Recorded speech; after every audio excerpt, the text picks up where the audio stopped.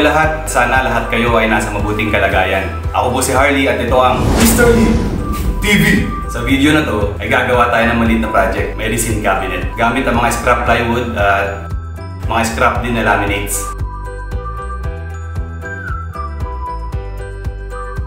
Mic check, mic check. Ito guys yung plano natin. Tsaka cutting list. Start na tayo guys! Let's go!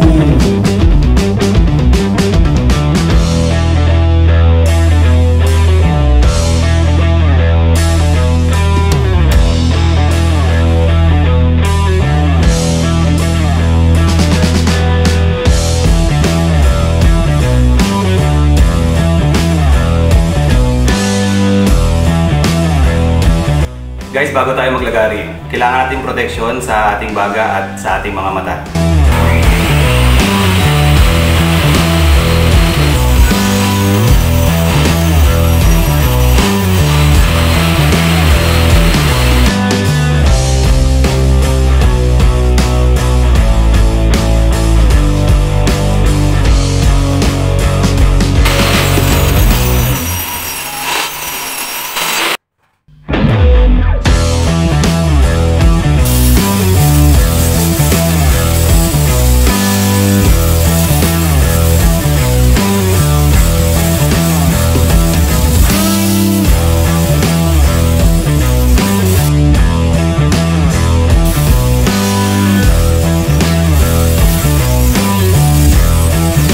Guys, maganda tong nabili nating plywood. Solid siya.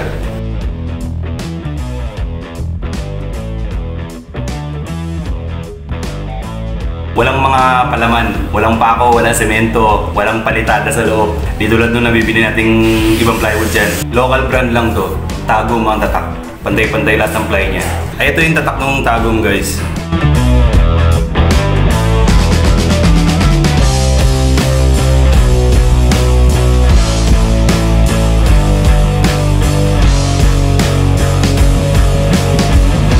Ayan guys, natabas na natin lahat ng panels. Pintuan na lang ang kulang dyan.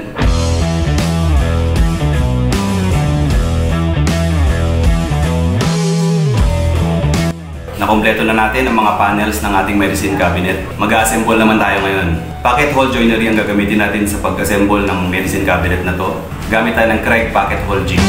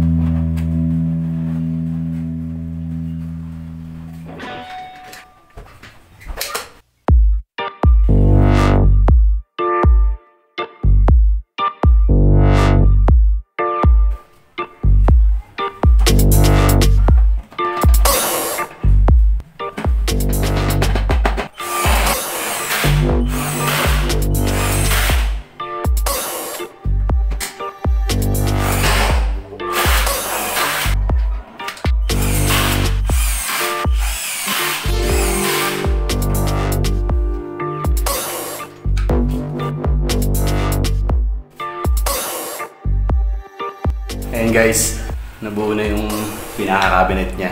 Pintuan na lang kulang. Kung napapansin nyo, itong dalawang strip na to, ito yung screw natin sa wall. Ito yung magsisilbing bracket niya. I-screwan natin dito. Rekta na sa wall. Hindi na tayo gagamit ng tox. Screw lang. High-end low na screw. 50mm. Ito hindi na to kailangan ng tox. Kapit na kapit na to sa wall. Ang pangbabarena natin sa wall ay 1/8 na drill bit.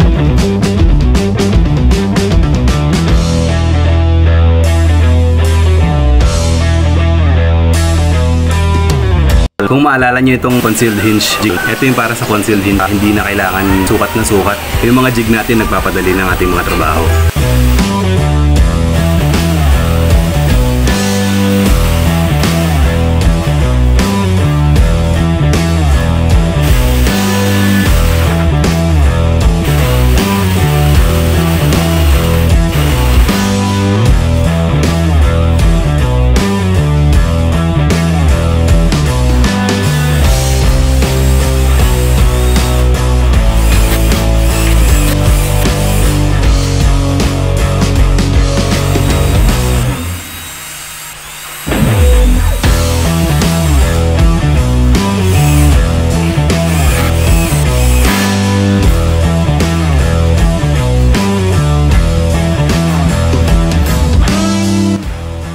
Guys, ikakabit na natin yung ginawa nating medicine cabinet.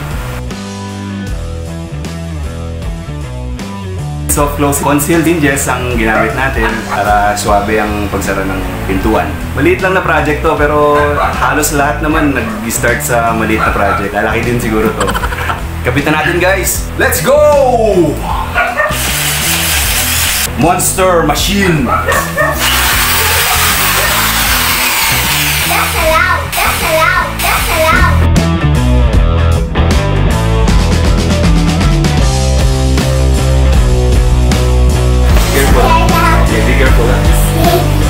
Thank you.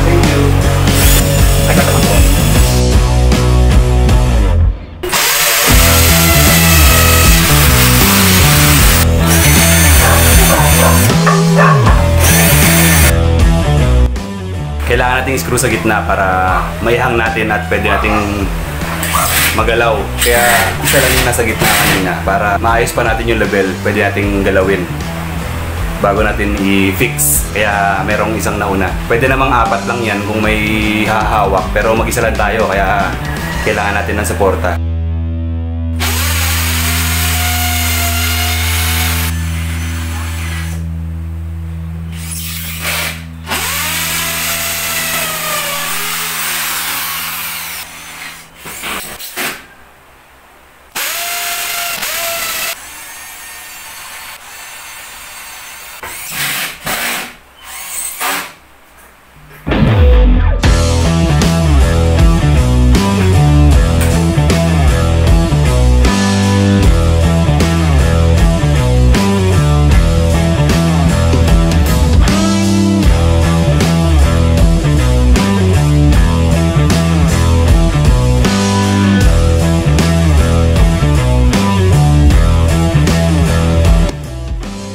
Guys, naikabit na natin ang medicine cabinet. Kayang-kaya nyo rin gumawa ng ganyan. Umpisahan nyo muna sa mga maliliit na projects. Pagka nagamay nyo na, subukan nyo rin gumawa ng mga malalaking cabinets. Check nyo guys.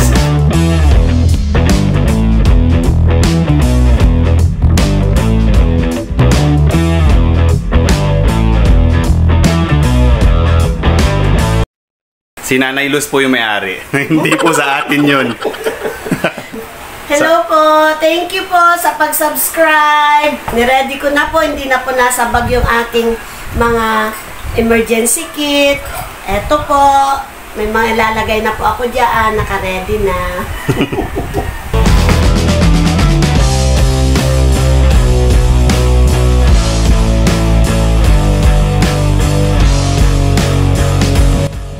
Matibay to guys.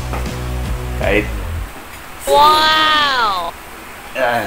Ay, may bata! Hi. Welcome to Listen TV on YouTube. Listen. Hi. Mr. TV on YouTube. Thank you for watching. Bye. Welcome lalagyan ng shampoo. Shampoo! Oh, pwede, pwede. Ayan guys, lahat ng laman nito, lilipat na ni Nanay Luz sa medicine cabinet niya. Tiba yan guys. Abot yan ng 25 years.